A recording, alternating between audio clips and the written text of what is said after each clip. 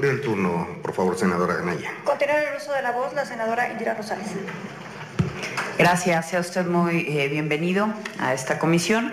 Eh, mi pregunta sería, de, en caso de ser designado usted para el Tribunal Regional, ¿cuál es su postura respecto a los tribunales locales u OPLES?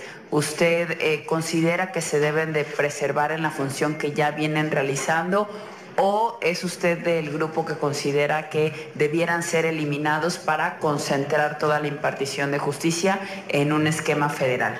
Gracias. Gracias. Muchas gracias, senadora Rosales.